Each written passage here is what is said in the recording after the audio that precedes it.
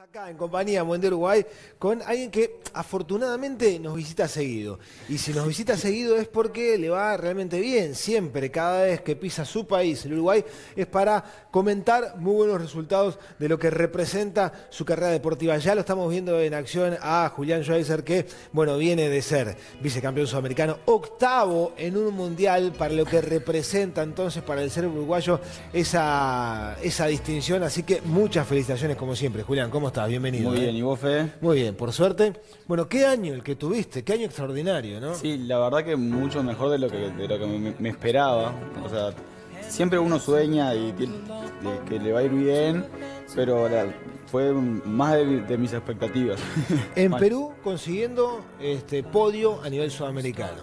Sí, yo creo que ese fue un- un- el campeonato hasta ahora un- el más importante de mi vida, porque no solo que es un campeón sudamericano, sino que entré al, al- al Tour Mundial, que se entró a competir con el top 32 eh, a nivel mundial, entonces eh, para, fue, cumplí mi primer gran sueño. Espectacular. Y después China. Y bueno. China y un mundial además. Sí, quedar octavo en China eh, fue increíble. Creo- mi, mi objetivo era ir a quedar top 10 y empecé a pasar rondas, rondas, tranquilo, día tras día. Fue un campeonato de como 6 días, que para el, en- para el surf es bastante largo. Y la verdad que también súper contento y, emocionado de haber poder quedar, a- ubicarme en la octava posición. O sea, eh, practicar surf en Uruguay de forma profesional, como, como lo hace Julián, implica un sacrificio enorme, este, incluso hasta desde el punto de vista de, de la financiación. eh, y, y que haya llegado a un octavo puesto mundial, que sea, o sea, esté entre los ocho mejores del mundo, es un reconocimiento que hay que valorar muy especialmente, ¿no? Sí, la verdad que el, el ser surfista en Uruguay es, creo es una, una carrera nueva y es em, soy como la, segunda generación de surfistas profesionales sería yo, pero es algo súper nuevo y que para mucha gente es difícil de imaginarse. Entonces, eh, yo te, dan la posibilidad de, de poder eh, dedicarme a surfear con un montón de ayuda de, bueno, de mi familia y también de algunos sponsors que de a poco se van sumando a darme una mano. Es, es increíble. Está buenísimo. Y hay un detalle también, ¿no? Este, porque es un deporte sumamente individual. Estás vos, tu tabla, este, o tu tablón, y después este, a, bueno, a demostrar tu- tus habilidades. Pero más allá de que es un deporte individual, yo tengo la posibilidad de seguirlo en las redes a, a Julián, y cada vez que compite en el exterior, y sobre todo cada vez que le va bien, que es muy frecuente, eh, aparece la bandera uruguaya, ¿no? Y aparece esa, esa, esa sensación, ese sentimiento de que estás representando al Uruguay. Sí, eso siempre. La bandera uruguaya siempre está en la valija, vaya donde vaya. Creo que nunca la saco de, de la valija, es la que siempre queda, Ahí. está adentro y la, y la llevo a cada lugar que voy. Y, sentís que, bueno, que estás representando a tu país, más allá que sos vos el que compite. eh, ¿Es el Uruguay el que, el que se sube a tu tabla? Sí, sin lugar a dudas. eh, y, está bueno porque es, raro que a veces soy el único uruguayo, somos muy pocos uruguayos en el mundo de surf a nivel mundial y, es- y eso todavía es como que me da más eh, ganas de representar a Uruguay y me siento más orgulloso y con más fuerza de ir. Que capaz que hay otros países que son 10 o 20 que están compitiendo y es u- uno del montón.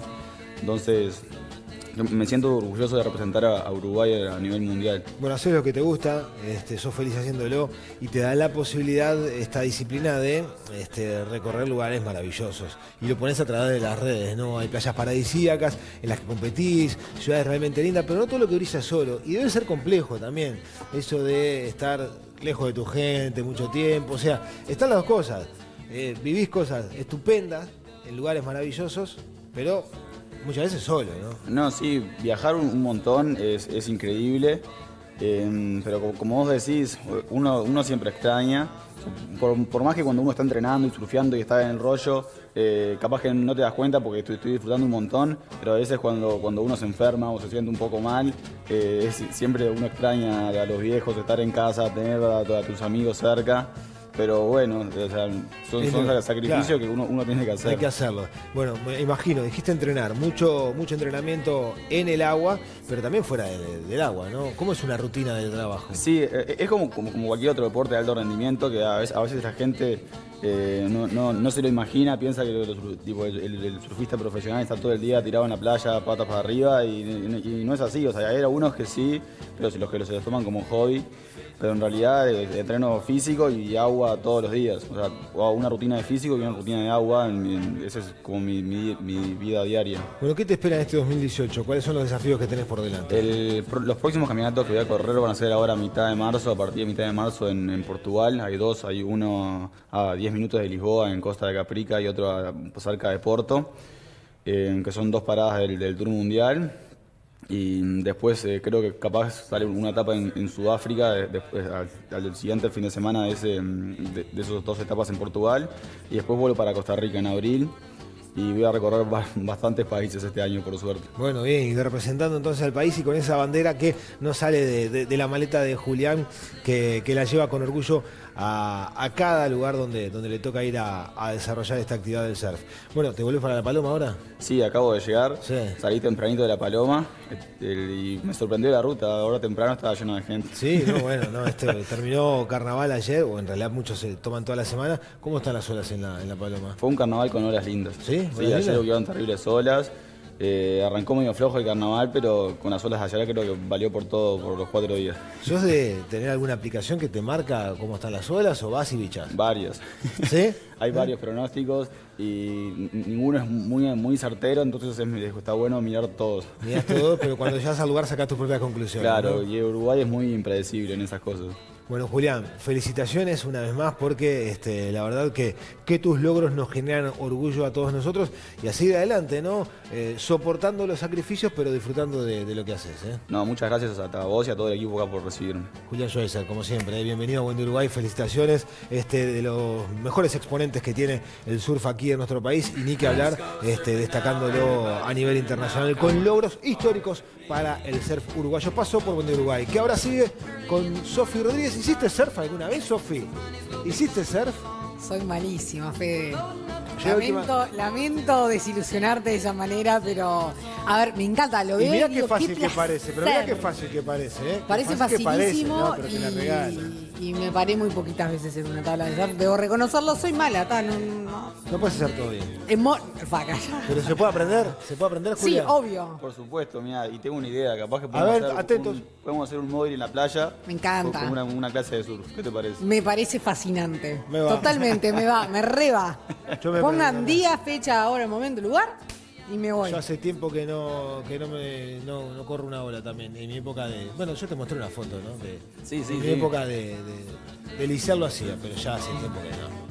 Yo me doy maña, a ver, me manejo un poco en el asunto, pero no, no. Yo les prometo que si vamos, surfeamos todos. Surfeamos todo. Dale, Ya me está. encanta. Para Muy mí bien, tenemos que hacer, mira, antes del fin del verano, yo siempre propongo cosas y después nunca suceden, pero no importa. Para el fin, antes del fin del verano, yo creo que Buen Día Uruguay se tiene que trasladar, digamos, a hacer un programa desde afuera, desde exteriores, desde la playa. Sí. Busquemos un chiringuito, un, parador, encanta. vamos todos, Fede hace surf y yo conduzco un rato y nos, nos vamos Me turnando. encanta. Escuchá, Hacemos tragos, Lucas Fuente va y nos cocina un, si algo no- rico para el Si almuerzo. no lo podemos coordinar hasta que mientras mientras Julián esté aquí en, en Uruguay, yo me ofrezco a acompañarlo a Portugal. A hacer- Que está de igual. y, y tomo las clases allí en Portugal. Yo te acompaño. No, no, pará. A la primera que le iba a dar invitados, no clase estaría mal. Julián era a mí. Así que, no sé. No, si no podemos, si, si la producción, si Rafael Arza no lo coordina antes, me sacrifico y voy a Portugal. ¿eh? Muchas gracias, Julián. Gracias, Julián.